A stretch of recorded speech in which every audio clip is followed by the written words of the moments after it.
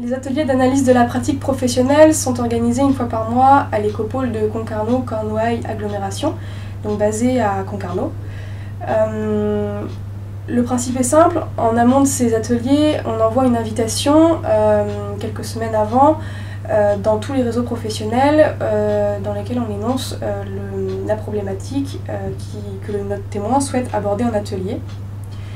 Euh, ensuite, le jour J, en atelier, on a besoin de plusieurs acteurs. Donc, dans un premier temps, on va avoir donc, notre témoin euh, qui expose la problématique. On va avoir un animateur qui permet de, de, faire en sorte que le débat s'alimente tout le temps et qui est également le maître du temps de l'atelier. On a un secrétaire de séance et puis bien sûr euh, plein d'autres professionnels qui sont là en tant que participants pour apporter euh, leur, euh, leur savoir-faire et puis leur retour d'expérience. Le déroulement de l'atelier est assez simple. dans un premier temps, on a un tour de table assez rapide où chacun se présente. Ensuite, le témoin expose sa problématique, donc il essaye de développer un maximum pourquoi il, est, il a été amené à, à se poser cette question ou pourquoi il rencontre euh, ce problème dans son activité professionnelle. Va vous exposer la problématique du moment. Alors voilà, donc euh, j'ai souhaité, euh, enfin j'ai proposé cet atelier parce que depuis que j'ai changé mes pratiques, que je fais de l'éco-construction et des bâtiments performants, j'ai un problème avec la maison passive et surtout la pensée unique que, draine le Passivos et la Maison Passive France. Je pense qu'on est plusieurs ici euh, à faire de la maison passive, à prétendre la faire, et faire réellement des questions passives, c'est ce que moi je fais depuis, 15 euh, ans maintenant euh, qu'on en construit, n'ayant jamais été labellisé, parce qu'on ne cherche pas à les faire certifier par la, maison passive France. Et je suis toujours embêté vis-à-vis de la, maison passive, parce que euh, entre dire, euh, on ne peut pas dire qu'on est contre la maison passive, on est obligatoirement pour la maison passive. Par contre, et là c'est pas moi qui le dis, c'est Jean-Pierre Olivas, c'est pour ça que c'est peut-être un petit peu clivant euh, d'avoir attaqué comme ça, mais c'est peut-être aussi ce qu'a fait Vénin Serpent. c'est pas moi qui le disais, hein, c'est Jean-Pierre Olivas dans une interview où il développait d'ailleurs ce, ce qu'il avançait là, où il n'était pas pour le concept du passivos, mais il était bien entendu pour la maison, pour la maison passive. Vient ensuite la phase de problématisation où chaque participant est amené à, à s'interroger sur le problème. Qu'est-ce qu'on prend en compte Ça commence par plus, ça pour, le, pour le calcul des consommations d'usage.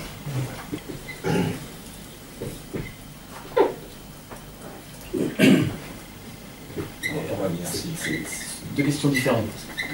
Oui, il y a plusieurs façons de. Ouais. Parce que, euh, comment c'est pris en compte dans le logiciel et quelle est son importance dans la maison. Oui, Alors, on, essaye les deux ou on choisit un des deux? On essaye les deux, je pense que les deux Prise en compte de l'inertie dans le calcul euh, théorique,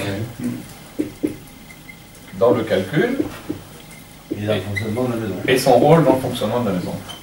Oui, c'est comme ça?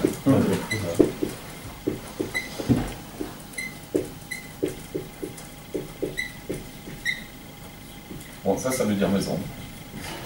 Faut gagner de la place. Écologique, évidemment. On a ensuite la phase de proposition de solutions, euh, où chaque participant euh, apporte son expérience euh, et propose des solutions de rémédiation ou des solutions d'amélioration. En défenseur du, du même si effectivement on a fait la formation de CEPH, pour voir, puisque pour appliquer complètement. Euh, j'ai jamais rien fait certifier non plus. Euh, mais euh, j'étais, j'étais pas un grand défenseur du triple vitrage jusqu'à il y a peu, notamment parce qu'on perdait des apports solaires avec du triple, et qu'aujourd'hui ça a changé. Effectivement, on a des triples vitrages où tu as une isolation supplémentaire réelle, et avec le même facteur solaire, voire un meilleur facteur solaire que certains doubles.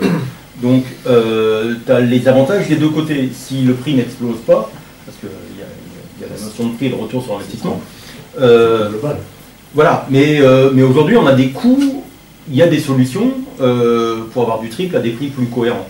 C'est ça aussi, c'est de dire que en fait, on, se dit, parce que c'est maison de passif, c'est vachement cher. Moi, je, vois bien, j'ai sollicité d'autres entreprises qui arrivaient à du 2400 euros le mètre carré TTC. C'est évident que si on compare ce prix-là, on se dit, ça vaut vraiment pas le coup de mettre une double mettre des triple vitrage, etc. Et c'est pour ça que, bon après je ne connais pas tout le monde, et c'est pour ça que je, travaille beaucoup avec euh, BIP et, Imago, parce que quand ils arrivent à, 1850 euros le mètre carré TTC, du coup tu te dis, ah bah ouais, à ce moment-là, j'ai pas la notion du surcoût mhm. qui plombe complètement le résultat final et qui arrive à 416 ans, de retour sur investissement. Et donc du coup, je vais pouvoir me dire, bah, ça vaudra le coup de faire le sans faire la labellisation, mais, mais les, critères qui sont demandés à la base. Enfin, euh, nous avons la phase de conclusion, où là, euh, chaque participant, lors d'un tour de table, euh, expose ses conclusions sur l'atelier. j'ai appris plein de choses, j'ai aussi noté plein de choses, c'était très très enrichissant. Et euh, je pense que j'en reviendrai, s'il y a possibilité, j'en reviendrai, c'est sûr, parce que c'est très très bien, très très bien. J'ai bien aimé euh, tous ces débats, toutes ces questions qu'on se pose là, et puis euh, voilà. Puis il y a des profils assez, assez différents, et non, non, très très bien.